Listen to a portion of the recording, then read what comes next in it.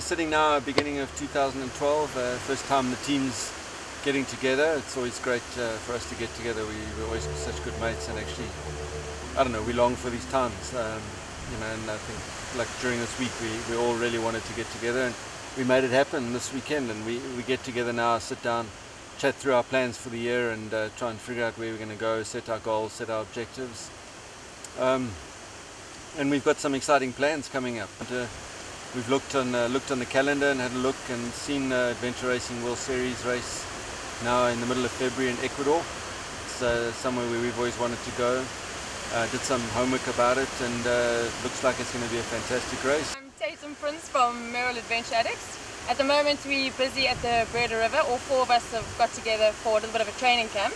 We don't have much time um, before our next race in Ecuador, but we kind of, you know, we're going to make the most of it. So we came off Tasmania at the end of November, which was an amazing race. Just so diverse, and we just saw so much um, in terms of terrain and beauty and everything. It was a good race. It was hard, fast, really seriously competitive, but you know we had a really, really good time. Um, to be honest, Ecuador at that stage wasn't on the cards and we had a really wonderful break over the festive season and you know really gathered our strength and chilled and had family time and friend time and now we've started the new year with a, a bit of a bang and we're ready to, to give it a go. So we've confirmed it, we're going, we're amped, we're excited and here we are in Swellendam having a bit of a training camp getting ready.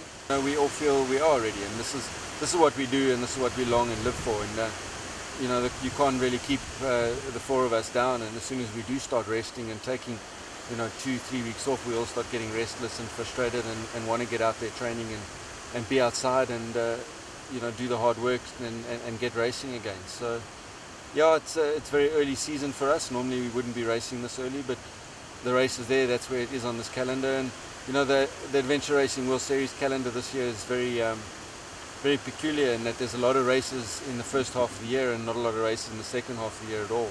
The, the Ecuador race, I think it's, it's a bit of an unknown to, to all of us. If people think about Ecuador, my first impression when, when I heard you going to Ecuador, I'm thinking South America, Brazilian hotties, uh, forests, but I've been doing a bit of homework and uh, it's not that at all. It's more um, the, the, the altitude is going to be a killer, looking around 3,000 meters above sea level.